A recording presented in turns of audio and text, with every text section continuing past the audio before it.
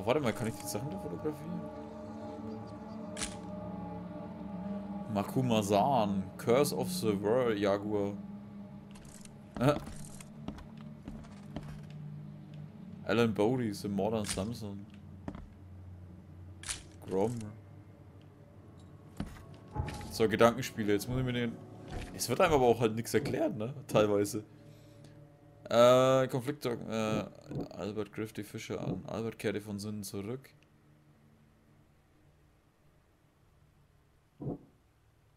Albert griff die Fische an. Ah ja, Albert Songton stellt für Louis Flynn und die anderen Fische eine Gefahr dar. Hä? Warum gehst du raus? Ein Wunder die Flucht. Hä? Louis schoss ohne Vorwarnung. Louis und die anderen Innsmouser in Oakmont leiden unter, der, unter den Sauk Mountains, weswegen Louis die Familie womöglich hasst.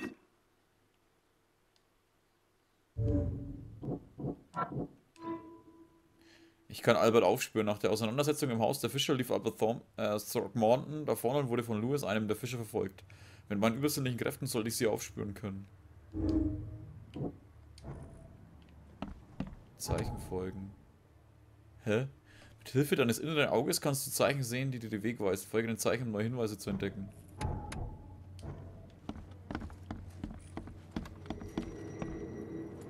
Hier wurde heftig gekämpft so. und jemand versuchte zu fliehen. Kann ich hier raus? Da ist der Typ.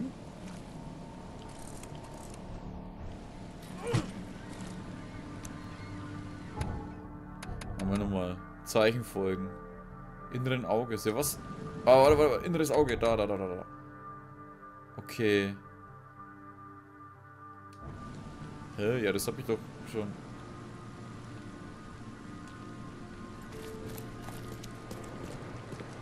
wir nochmal rein. Warte mal, was ist das hier?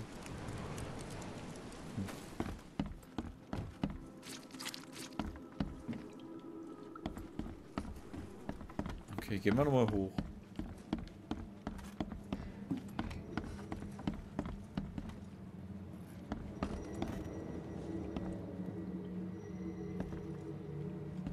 Ich bin gespannt, was Sie finden werden, Neuankömmling. hier eigentlich? Abkürzung oder was? Okay. Ja, aber ich habe das doch schon gesehen.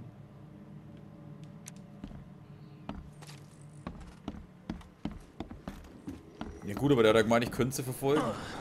Da müsste jetzt Blutspuren irgendwo... Ah, was, ich habe Energie verloren.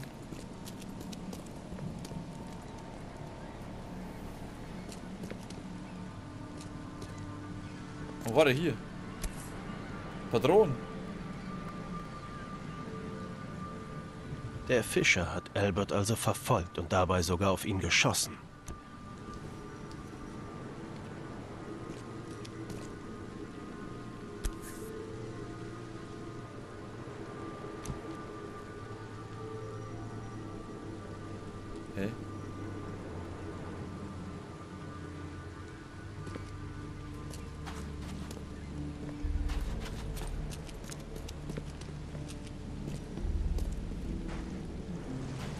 Ah, da, warte mal. Oh ne, da kann ich bloß was mitnehmen. Hä?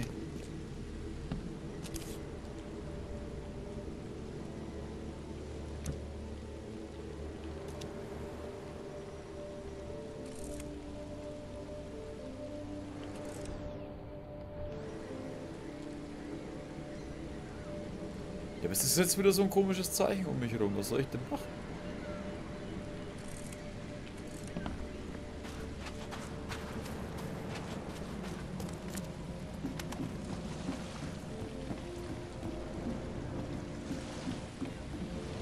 Irgendwas, irgendwas verpeile ich gerade.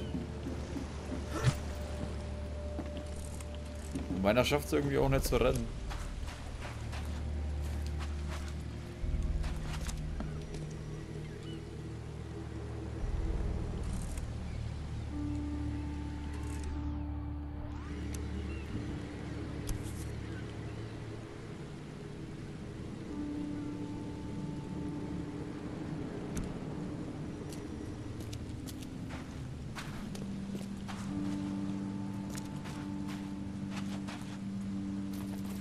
Oder ist das, oder ist das, äh, wer hätte es, äh, hat es bloß sowieso angezeigt, weil ich die Kugeln hier gefunden habe?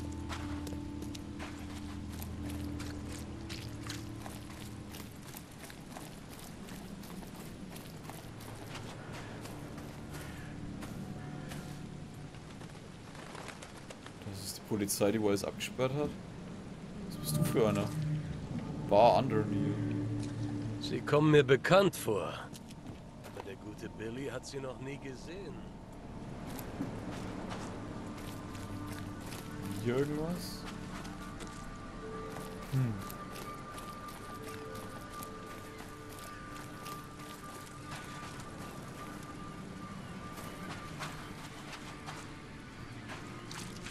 Aber müssen wir jetzt schauen. Karte, inneres Auge. Manche inneren Augen benutzen um engen Bildschirmverzerr darstellt, wenn ein kleines Geräusch ist. Die offenbart sich dann Bilder aus der Vergangenheit, Trugbilder zeigen oder Spuren, die da ansonsten verborgen bleiben.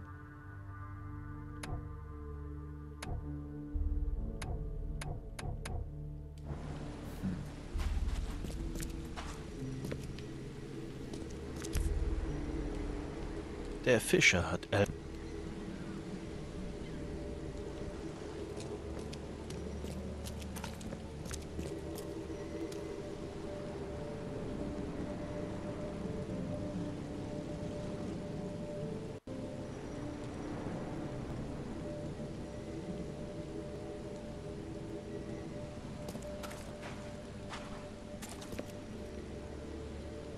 Ich verstehe es nicht. Ich verstehe es halt wirklich nicht.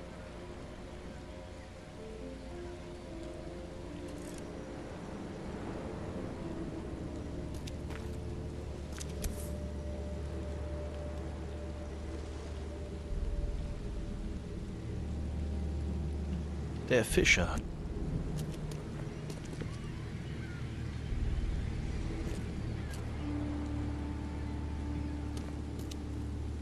Ja, soll das mir jetzt irgendwas zeigen oder nicht, Alter? Ich stehe jetzt gerade total auf dem Schlauch, Alter. Das ist doch scheiße.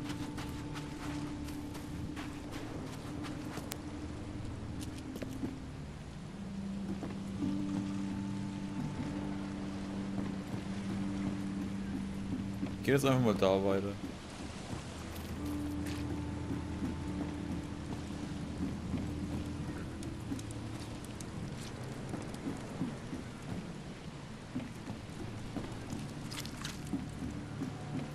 Ist irgendein Typ.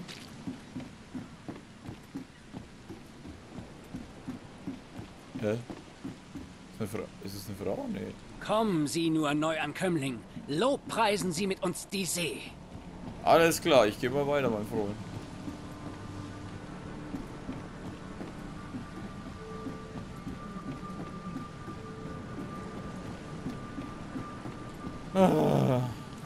Denn da jetzt bloß? Was, was läuft jetzt da gerade falsch? Das ist doch scheiße.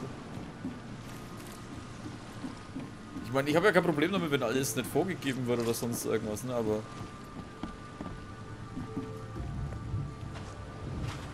Da! Trotz seiner Verletzung konnte Albert so hoch klettern.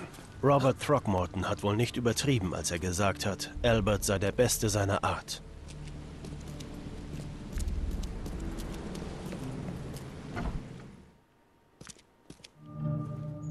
Lager. Da.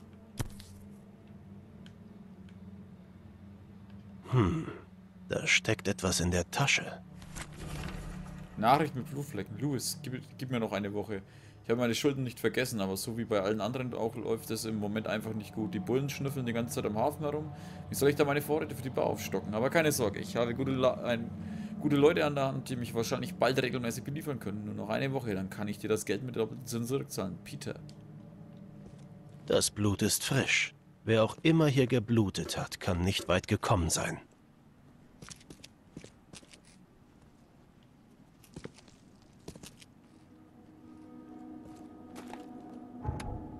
Schlösser.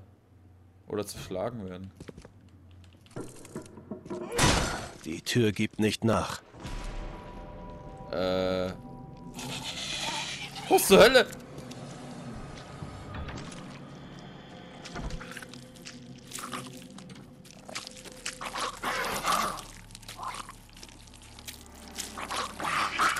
Ja, erstmal nachladen. kleiner Wichser, ey. Wow, was? Gleich getroffen? Was zur Hölle bist denn du? Ein Einschussloch in der Stirn. Der Schuss war tödlich und wurde gezielt abgegeben. Oh, das ist doch der Rob Morton, ne? Äh, ist, ist, ist Rob Morton? Ist Rob Morton.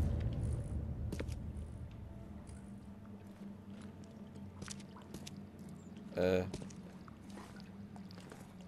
Warum liegt hier eine Leiche vor so einem Vieh? Ein Einschussloch in der Stirn. Der Schuss war tödlich und wurde gezielt abgegeben. Okay, das heißt... Gedankenspiel. Der Barbesitzer hat bei Louis Schulden, aber der Griff verwundet die Flucht.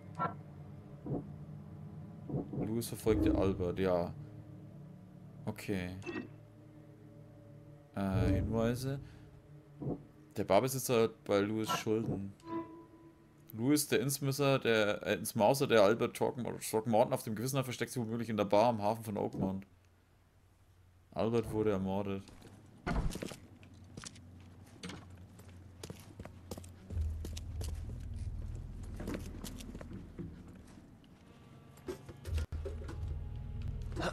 Also hat er ihn verfolgt und dann abgeknallt.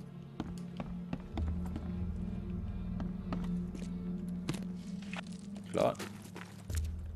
Hä? Ich habe jetzt eingebildet, ich habe jetzt irgendwas gehört.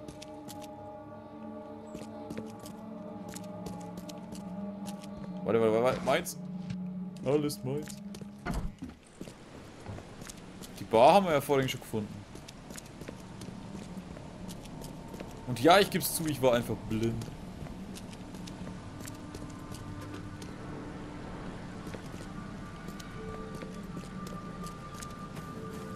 Kann die Taschenlampe ausmachen. So.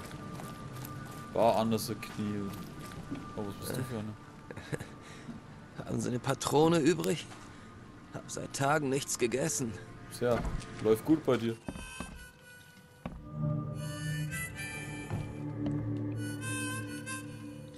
Aha, aha, aha. Ah, jetzt, wo der Hafen geschlossen ist, verteilen die Carpenters bestimmt kein Essen mehr. Seien Sie auf der Hut. Unten treiben sich Monster herum. Die sind überall. Okay, hallo Black Lady. Kommen Sie. Kommen Sie näher, Sie geplagte Seele. Ich kann Ihnen sagen, was die Zukunft für Sie bereithält. Sie sind so etwas wie eine Wahrsagerin? Ja, mein guter, ja. Oh, ich sehe es ganz deutlich. Ihr Lebensweg steckt voller Überraschungen, Neuankömmling. Klingt ein bisschen allgemein, finden Sie nicht? Ich sehe viele Dinge, guter Mann. Und ich werde Ihnen alles bis ins kleinste Detail beschreiben, wenn Sie einen geringen Obolus entrichten. Gut, wie viel wollen Sie? Ein Dollar? Ha! Ihr Geld ist hier nichts wert, Neuankömmling. Seit der Flut bezahlen die Oakmonter mit Waren. In erster Linie mit Alkohol, Tabak und Patronen. Und hier ein Wink mit dem Zaunpfahl. Ich rauche nicht. Na gut, eine Ich Patrone. bin gespannt, was meine Zukunft für mich bereithält. Gut, gut. Ich muss mich konzentrieren. Die See wird in den kommenden Tagen großzügig sein. Sie wird viele Geschenke überbringen. Und viele werden es bereuen, sie angenommen zu haben. Ich kann Ihnen nicht ganz folgen. Das Neue wird gegen das Alte aufbegehren. Ein eiserner Wille gegen ein kaltes Herz. Ganz gleich, wer gewinnt. Auch Sie werden gewinnen. In einem Käfig aus Eisen und, und große Säulen, umgeben von den Toten. Ein Rennen, das endet und von vorn beginnt. Und die Zeit selbst lacht nur. Danke. Ich werde Ihre Worte beherzigen. Gern geschehen. Ich kann es gar nicht erwarten zu sehen, was sie alles tun werden. Okay, ich geh mal weiter. Äh, was haben wir noch? Hey, Alter. Willkommen im Under the Kiel. Was darf sein? Ich habe beängstigende Kreaturen, beängstigende Kreaturen gesehen. Ich habe hier in der Nähe beängstigende Kreaturen gesehen. So etwas ist mir noch nie untergekommen. Was zum Teufel sind das für Dinger? Äh, Sie sind wohl auf Wildbeaster gestoßen, Neuankömmling. Niemand weiß etwas über sie. Und Sie können froh sein, dass Sie noch leben. Die haben wir hier seit der Flut. Einige sagen, sie kommen einfach aus dem Meer. Andere glauben, dass Kauil uns mit ihnen bestraft. Und was meinen Sie? Was blutet, kann man auch töten. Halten Sie hier immer Ihre Waffe bereit. Und falls Sie mal schreckliche Erinnerungen auslöschen wollen, verkaufe ich dafür hier genau das Richtige. Und noch ein Ratschlag. Lieber feige sein und leben, als tapfer sein und sterben. Aber eigentlich sollte ich das einem Neuankömmling gar nicht sagen. Ich suche jemanden namens Louis Flynn. Ist er zufällig hier? Selbst wenn ich es wüsste, würde ich es einem Neuankömmling sicher nicht sagen.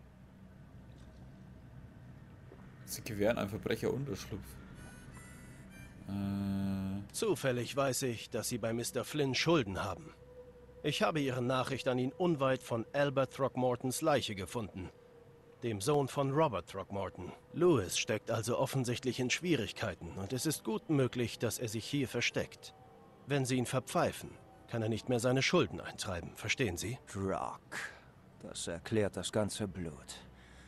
Also gut, wenn ich damit mein Problem loswerde, rede ich. Und? Er ist oben. Hier haben Sie den Schlüssel.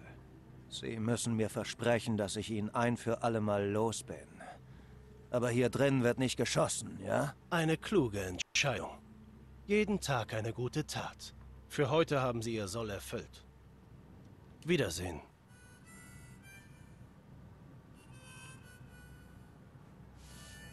okay. Jetzt ist die Frage. Äh, mal, da. Auseinandersetzung im Haus der Fischer. Stofffetzen der Jacke, nach Blutflecken. Louis könnte sich in der Bar verstecken. Wo sich Louis Flynn versteckt hält. Kann ich speichern eigentlich? Speichern, sehr gut. Wäre mal sinnvoll, ne? Dann gehen wir doch mal auf und schauen noch mal, was er vorhat. Oder was abgeht. Was ist das für ein Bild? Okay. Sehr hoch auflösen. Hallo, mein Freund. Hey, wer sind Sie? Ach Was wollen Scheiße. Sie hier? Charles Reed, Privatdetektiv. Mr. Throckmorton beauftragte mich damit, seinen Sohn Albert zu finden. Nun sollten Sie wissen, warum ich hier bin. Drock, dieser verfluchte Barkeeper.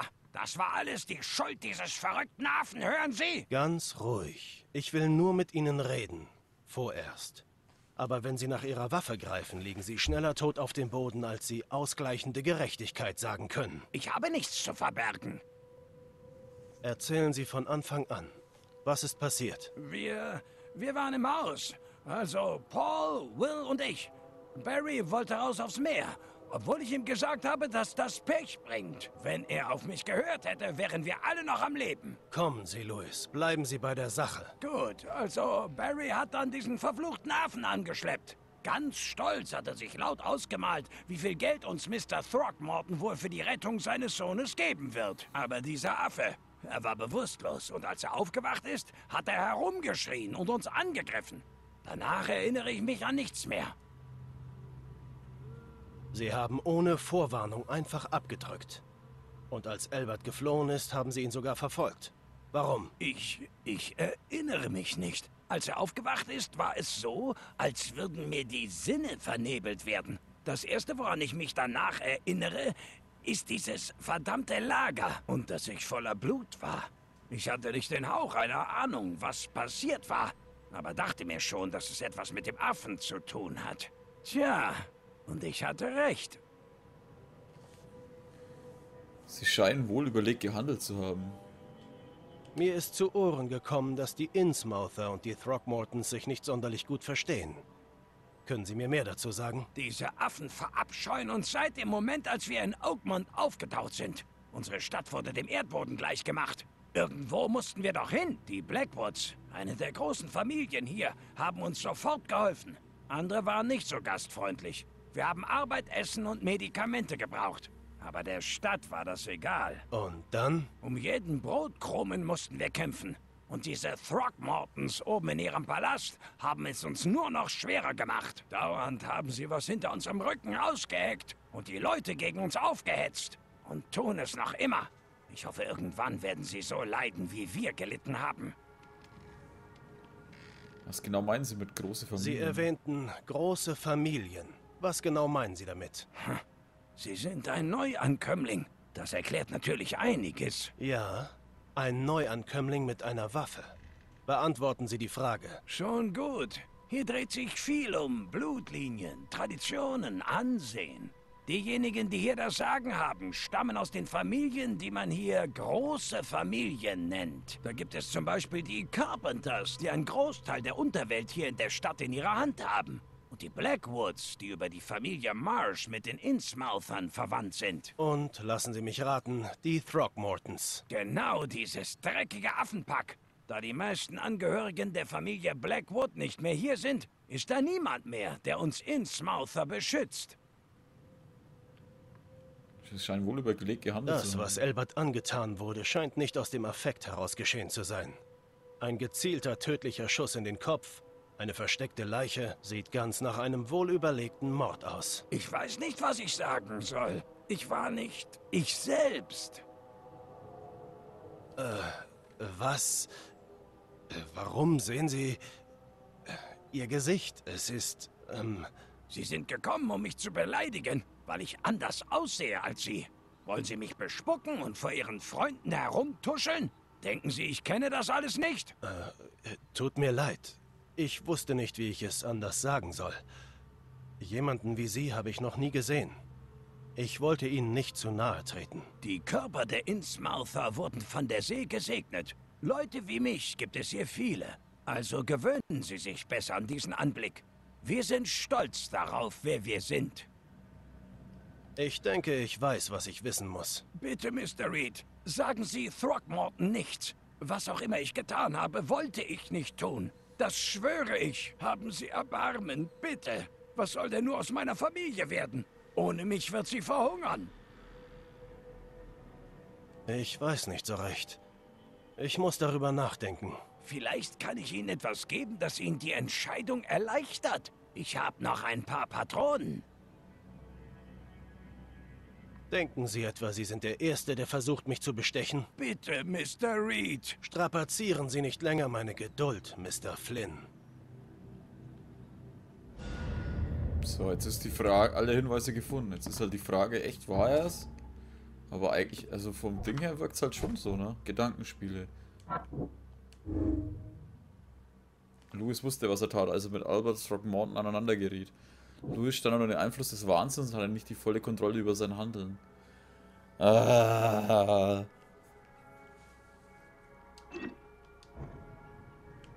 Ich weiß es nicht. Aber das ist halt genauso aufgebaut wie das Sherlock Holmes Zeug. Aber ich meine, einerseits, ne, der Typ wurde an an, äh, an Fleischerhaken aufgespießt und dann abgeknallt. Und man hat ja gehört, was er gesagt hat im Ding. Nee, er, er war's, er war's. Und trotzdem spreche ich. so, Gedankenspiele. Äh, Hinweise. Achso. Hä?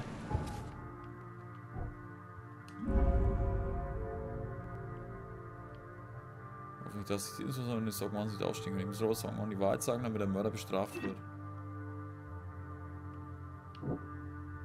Dem Albert ging eine Gefahr aus.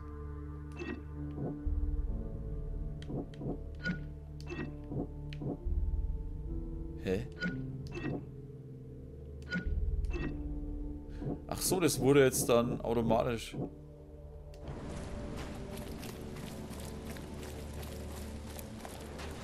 Ja, es ist schon so, also sorry. Niemand hängt im...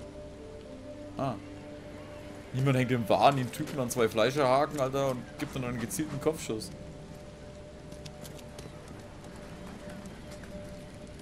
Mr. Throckmorton, leider habe ich schlechte Neuigkeiten. Oh nein. Ich habe Ihren Sohn im Untergeschoss eines Lagers hier in der Nähe gefunden. Es tut mir leid, aber er wurde ermordet. Jemand schoss ihm in den Kopf und versteckte dann die Leiche. Nein. Nein, nein. Ich... Ich kann es nicht glauben. Das darf nicht wahr sein. Nein! Ich habe den Mörder Ihres Sohnes aufgespürt. Wo? Wer war es? Wie ich vermutet hatte, ist der Innsmouther Lewis für den Tod Ihres Sohnes verantwortlich. Er versteckt sich in der hiesigen Bar. Fragen Sie einfach den Barkeeper. Er hatte wohl eine Rechnung mit Ihrer Familie offen und Ihr Sohn Albert musste sie begleichen. Oh, dieser Mistkerl wird nicht ungeschoren davonkommen. Die ganze Stadt soll Zeuge davon werden, was geschieht, wenn man sich mit den Throckmortons anlegt. Der Gerechtigkeit wird Genüge getan werden. Es kommt selten vor, dass sich ein Neuankömmling nützlich macht. Danke. Mr. Throckmorton, ich will nicht lästig sein, aber denken Sie, dass Sie mir jetzt helfen können? Ja, das bin ich Ihnen schuldig. Bei Cowell, wenn man darüber nachdenkt. Ein Neuankömmling, der gerade erst von Bord gegangen ist, muss ein Verbrechen aufklären, weil die Polizei unfähig ist. Aber ich schweife ab. Helfen Sie mir auf die Sprünge. Was führt Sie nach Oakmont? Ich... Ich habe das Gefühl, dass ich verrückt werde, Mr. Throckmorton. Ich sehe sonderbare Dinge. Visionen. Und ich will, dass es aufhört. Mich zog es hierher. Oder ich wurde geführt. Ich weiß es nicht. Jedenfalls glaube ich, dass die Ursache für diesen Wahnsinn hier in Oakmont zu finden ist. Sie täuschen sich nicht, Mr. Reed. Nach der Flut kam es hier in Oakmont zu einer unerklärlichen Hysterie, die sich immer mehr auszubreiten scheint. Ich finanziere eine Expedition zur Erforschung der geologischen Aktivitäten, die hier seit kurzem auftreten und dafür verantwortlich sein könnten.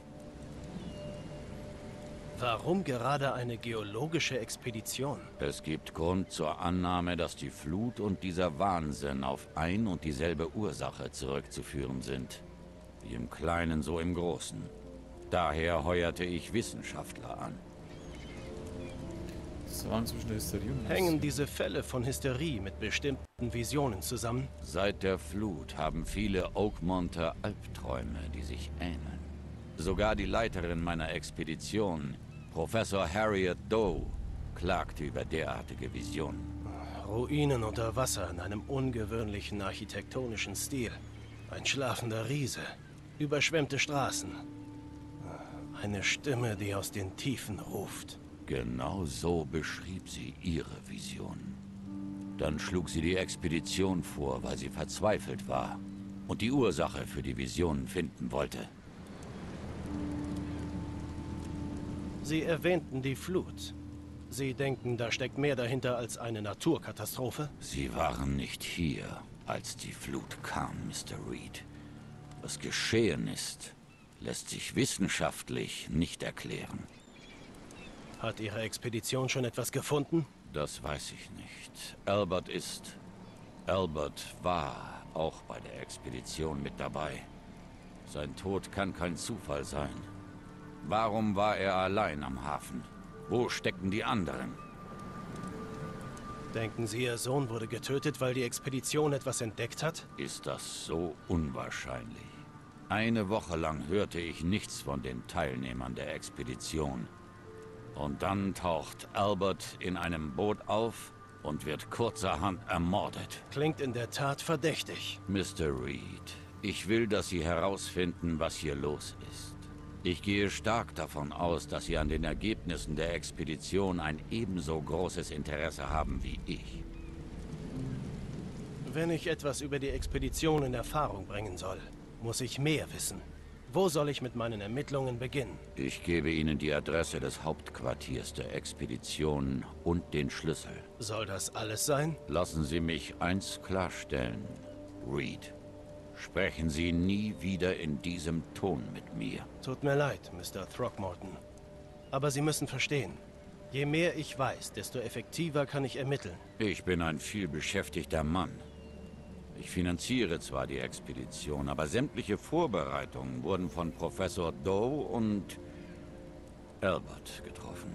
Wenn Sie Ihre Ermittlungen abgeschlossen haben, finden Sie mich auf dem Anwesen der Familie Throckmorton. Es befindet sich im Bezirk Old Grove. Hier, ich zeige es Ihnen. Wer kommt für meine Ausgaben auf? Sobald Sie Ihre Ermittlungen abgeschlossen haben, werde ich für Ihre Ausgaben aufkommen. Und natürlich werden Sie auch für Ihre Arbeit hier am Hafen entlohnt. Zudem erhalten Sie von mir einen fairen Vorschuss in Form von Patronen. Ähm, Patronen? Der Dollar ist hier nichts mehr wert, Mr. Reed. Seit der Flut gehen die Menschen in Oakmont Tauschgeschäften nach. Patronen sind hier nützlicher als Papierscheine mit Zahlen darauf. Viermal Munition erhalten. Wow, super, ey. Richtig geil bezahlt, Mann. Jetzt kaufe ich mir ein Haus am Strand, Mann. Äh, okay. Aber an der Stelle bedanke ich mich jetzt erstmal bei euch fürs Zuschauen. Okay, das war jetzt eine längere Aufnahmesession, als ich eigentlich wollte. Ich wollte eigentlich immer so 20 Minuten aufnehmen und jetzt ist es eine Stunde geworden. Ich werde es dann halt in zwei teilen müssen. Ähm, und ich hoffe, wir sehen uns dann wieder in der nächsten Folge von The Sinking City. Und ja, ich habe kurz überlegen müssen, wie es heißt. Macht's gut und Servus.